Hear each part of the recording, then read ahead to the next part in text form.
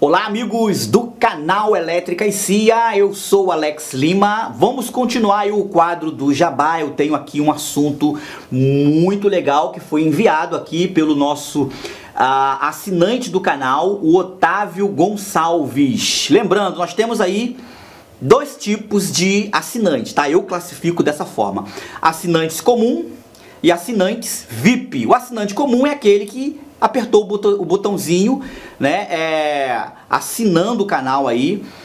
E o assinante VIP é aquele que apertou o botãozinho, né, para poder estar assinando o canal e também apertou o sininho para ser notificado. Se você não é VIP aqui no nosso canal, vai aí, clica o sininho para você ser notificado sempre que tivermos novos vídeos. Se você considera o nosso conteúdo um conteúdo legal, útil, faça isso, venha ser VIP também.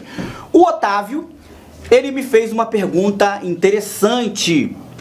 É, ele me perguntou a, a, seguinte situação, professor, eu posso ligar eu, é, um painel de 150 consegue carregar a minha bateria em dias nublado, ou seja, ele tem um único painel, a gente conversou pelo zap, ele tem somente um painel de 150 e uma bateriazinha estacionária de 70 ampere.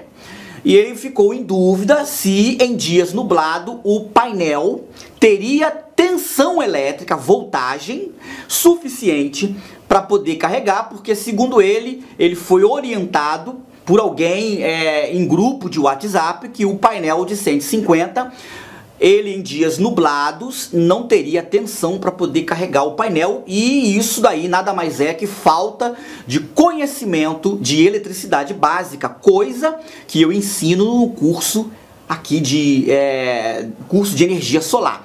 Para quem vai, gente, trabalhar com energia solar, instalando, seja instalando para si mesmo, né?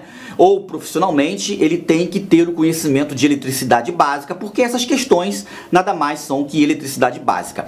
Um painel fotovoltaico, todo mundo aí que tem painel em casa, que instala, monta, já mediu a tensão de um painel em dia nublado e sabemos que a tensão do painel ela não reduz drasticamente. Ela tem uma pequena queda, mas não a, a, a, ponto de não ter o diferencial, de não ter a tensão elétrica, a voltagem, vou falar a linguagem simples, uma voltagem que não seja o suficiente para carregar uma bateria. Uma bateria geralmente se carrega com 14, 14.4, 14.8 e em alguns casos 15 volts. Vamos imaginar, vamos trabalhar com os 15 volts necessário para você carregar a sua bateria. Se você tiver 16 volts, você tem tensão suficiente para continuar carregando essa bateria tá? Eu vou explicar isso mais na frente. Eu fiz um teste prático há uns dias atrás, num dia nublado aqui fora, numa uma parte bem bagunçada aqui fora. Vamos assistir esse vídeo do teste do painel de 80, não é 150. Esse painel gera em aberto 21 volts e no circuito operando, circuito fechado, ele gera 18. Vamos ver o teste aí. Então beleza pessoal, estou aqui com o painel para fazer o teste da queda de tensão em dia nublado, olha, em aberto, 20 volts. Esse painel gera 21 volts com o dia ensolarado. Nós estamos com o dia nublado, totalmente nublado, olha, muitas nuvens no céu, não tem sol. E ele teve uma queda de tensão de 8, 900 mA, entre 900 mA e 800 mA. O painel quase não teve queda de tensão. Tudo bem, ele está num circuito aberto, tá? Mas da mesma forma, né, o, o circuito funcionando, carregando as baterias, a queda também é mínima. Tá? A queda não é alta, a queda não é absurda. Um painel de 80 watts como esse aqui teria tensão para carregar uma bateria que carrega em 15 volts, 14 volts. Legal, gente? Então, assim, é, é, a prova para vocês que em dias nublados, um painel de 80 watts é o suficiente para carregar uma bateria. O que acontece aqui é que a corrente que esse painel vai gerar é uma corrente muito baixa.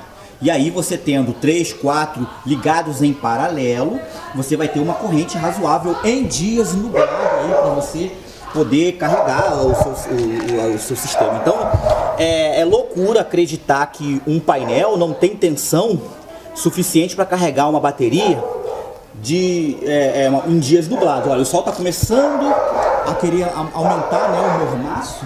E ele já deu uma. Dali, olha, continua. Se eu tivesse com pleno sol de meio-dia, eu teria 21 volts, que é a tensão máxima em aberto. A tensão dele no circuito carregando a bateria, né, o circuito fechado, é de 18 volts. Então eu teria o quê? Uma queda também de 1 volts para 17 volts. Nesse momento aqui, se eu tivesse colocando a minha bateria, e carregando no meu sistema, eu estaria carregando esse é, com aproximadamente 17 volts, que é um diferencial de potencial excelente ainda para você carregar sua bateria, que geralmente carrega em 14.4, 14.8, algumas 15 volts. Vamos supor, vamos botar o 15 volts. Eu com 17 volts carregaria 15 volts tranquilamente a tensão da bateria. Então, o painel, gente, com o tempo nublado, ele permanece com a tensão, como vocês estão vendo aqui, olha. Aqui, olha, conectado aqui, ó. Certo? Então o painel em dia nublado, ele tem tensão. A corrente está muito baixa. Muito baixa, até mesmo porque o painel está frio, né? Não tem sol nele. Então tudo isso favorece em dias nublados. Então eu repito para vocês, dia nublado, você não tem queda absurda. A queda é de 1 volt. 1 volt em circuito aberto e 1 volt em circuito fechado. Circuito fechado, repito, 18 volts é a tensão de trabalho, tá? 18 volts é a tensão de trabalho. Eu teria aqui 17 volts para carregar a minha bateria com um painel de 80 watts. Beleza, gente? Isso aí constatado, dia totalmente nublado. Então, pessoal, vocês viram que no dia totalmente nublado, não tinha um raio de sol, o painel teve uma queda de 1 volts e às vezes 900 milivolts aí de, de, de queda. Aquilo ali acontece tanto com o painel ali medindo o painel em aberto, da mesma forma vai ser com o circuito operando, o circuito fechado, tá? A queda também será apenas de 1 volt, 1 volt. Então você em dia nublado com um painel de 150 ou de 80, como foi esse caso ali, você continua tendo tensão suficiente para poder carregar a sua bateria. Eu vou aproveitar, pessoal, a imagem do blog do Eduardo Aquino. O Eduardo Aquino vocês conhecem aí, ele tem um canal aí que fala sobre o assunto, também é um, é um que divulga energia solar aí também. Ele tem um blog muito legal, vou deixar na descrição o link que tem o artigo que eu peguei a imagem dele, tá? Para vocês conhecerem lá e acompanhar também o blog dele. E na imagem, essa imagem aí,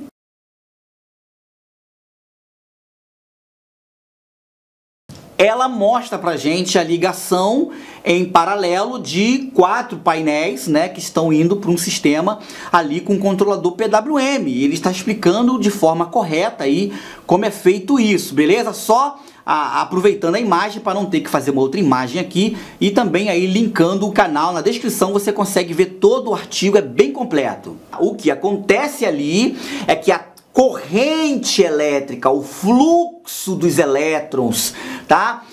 o movimento das cargas elétricas que está sendo a, está acontecendo no processo fotovoltaico dentro do painel é que realmente vai baixar. Em dias nublado, você terá menor potência, mas a tensão que você precisa, ela vai ser sempre superior a tensão nominal, a tensão de carregamento da bateria, certo? Um painel de 150 watts, ela gera em média em dias ensolarado 22 volts, 21,6 volts. Tá? Isso em aberto. Em circuito operante, circuito fechado, você com o painel ligado aí no controlador de carga, jogando para a bateria, que é o que eu chamo de circuito fechado, você simplesmente vai estar tá é, gerando nesse painel de 150 18,6 volts, 18,4. Com o dia nublado vai cair para 17. Vamos botar drasticamente um dia bem tenso de nuvens negras, vai cair para 16 volts, que é tensão suficiente para poder continuar carregando. Então ele foi orientado a pegar dois painéis de 150 lá no grupo que ele participa e ligar esses dois painéis de 150 em série somando a tensão para que em dias nublado ele tenha tensão suficiente para carregar uma grande é, um grande desperdício fazer isso. Se o seu painel gera 18 volts no circuito operante, você já é, é, é automaticamente com o dia nublado vai cair para 17, para 16, você continua tendo tensão para carregar o seu sistema. Se você tiver apenas um painel em dias nublado, lógico que você vai jogar para a bateria vai ser muito pouco, mas você vai ter uma tensão constante. Você porque o painel precisa de tensão constante, precisa de corrente constante, nós já cansamos de falar isso aí. E se você manter um dia nublado com 17 volts constante, no máximo ele vai acontecer o quê? Abrir o sol e a tensão subir. Vai continuar a tensão constante. Você baixou para 16 volts, vai permanecer constante em 16 volts. O, o, o correto é você ter corrente também, porque a corrente vai despencar a corrente vai despencar, não a tensão. E aí você vai, não vai carregar legal. Você tem que colocar mais alguns painéis em paralelo, não em série. Em série, com um controlador PWM, que é o caso dele, vai haver perdas. Você colocando dois painéis em série, você vai, vai ter a potência de apenas um, porque o controlador PWM vai eliminar a potência do outro, cortando na tensão. Você colocando dois painéis em série, você vai somar a tensão, vai para 30 volts, um exemplo. Um exemplo, vamos lá, 18 mais 18 vai dar 36 volts, é isso? 36 volts. O que, que vai acontecer desses 36 volts, o controlador de carga PWM vai regular para 14. Ponto, vamos mudar 15? Ele vai regular para 15, então você vai perder mais da metade da potência dos dois painéis. Os dois painéis de 150 em série vai gerar um, talvez menos do que um único painel de 150. Então, você tem um PWM, um controlador de carga PWM, você tem que colocar os seus painéis em paralelo, somando a corrente, porque você não deve se preocupar com a tensão, porque você vai precisar de corrente para essa, essa bateria, certo? Vai precisar de corrente, a tensão vai estar sempre acima da tensão de carregamento. Um dia nublado não vai baixar para 10 volts 8 volts. Isso acontece quando o dia realmente entra no período de transição de noite, de dia para a noite. Aí nesse transição o painel começa a despencar a tensão porque começa realmente a, a, a escurecer e não tem mais os raios ali. Uh, o sistema fotovoltaico ele vai uh, automaticamente, o controlador de carga, quando a tensão chegar abaixo da tensão de carga, ele automaticamente vai indicar para você, a setinha vai parar de ficar informando que não que está mandando né, carga para a bateria. Né? Quando tem o controlador de que igual esse azulzinho que tem ali o visor, aquela setinha fica, enquanto tiver a setinha, ele carrega. Só que se você tiver um único painel, você não vai ter a corrente constante. Você até pode ter a corrente constante, mas é, ela vai levar ah, dois dias para se carregar completamente certo? Então você, é, é, nesse caso, coloca os painéis em paralelo. Se você usa um controlador de carga MPPT, aí você não deve se preocupar, porque o MPPT, seja em série, seja em paralelo, ele sempre vai fazer o aproveitamento máximo dos painéis. É, aí nesse caso, com um controlador MPPT você pode ligar em série, porque aí você não vai, o excedente da tensão, ele vai simplesmente converter em corrente, ele é um conversor DC-DC e vai entregar uma corrente boa e uma tensão boa. O MPPT é incrível, é o mais indicado, mas no caso do PWM, não coloque em série. As perdas vão ser absurdas. Você vai ter dois painéis que vai valer por um. Legal, gente? Tudo isso, gente, é conhecimento de eletricidade básica. O que é tensão? O que você precisa para a bateria. O que é tensão? Tensão elétrica que tem como unidade de medida volts. Tensão elétrica é o que tensiona a carga, ou seja, ela faz força para empurrar os elétrons, a carga elétrica. Então a tensão tensiona. Quando é há esse diferencial, ela tensiona a carga, certo? Tensiona a carga, vai falar comigo depois.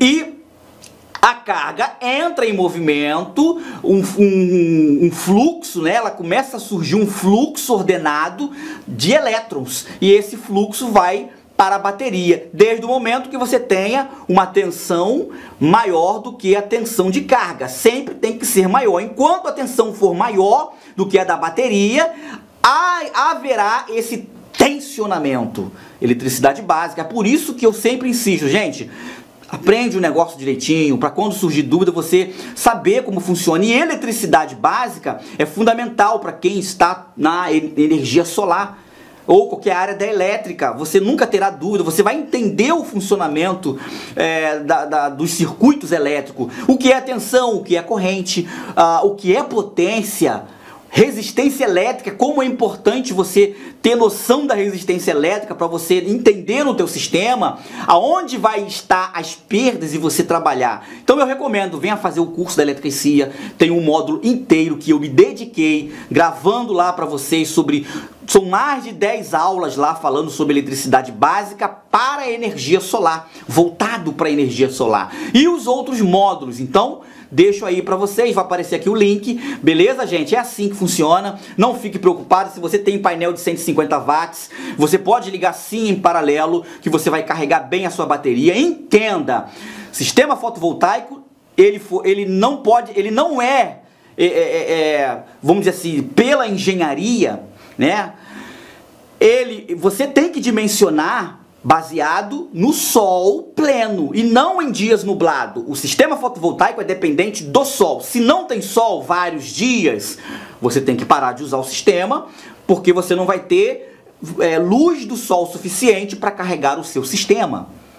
Então o sistema fotovoltaico depende do sol. Nós não vivemos na Alemanha, nós não vivemos lá na Inglaterra, nós vivemos no Brasil que tem muito mais sol do que dias nublados. Os dias nublados virão, mas não será o suficiente para sua bateria escangalhar. Tá? Se você mora numa região do Brasil onde tem muito, muitos dias nublados, aí você pode pensar numa solução de melhorar o seu sistema para que em dias de tempo no, no nublado, desculpa, você tenha aí tensão em corrente constante, mas na maioria dos casos no Brasil, o que mais tem, principalmente no, no Nordeste do Brasil, o que mais tem é sol para carregar e o painel de 150 que gera 20, 18, 19 volts será o suficiente para você trabalhar sem medo aí, beleza? Não tem sol vários dias, vários dias nublado, o sistema fotovoltaico foi calculado para o dias ensolarado, dias nublado vários dias, bateria baixa, desliga o seu sistema, você tem que ter energia da companhia elétrica. Outro debate, eu posso ficar 100% isolado? Será que eu consigo? Hum, é um outro debate, a gente pode trazer esse assunto semana que vem. Até lá, tchau, tchau.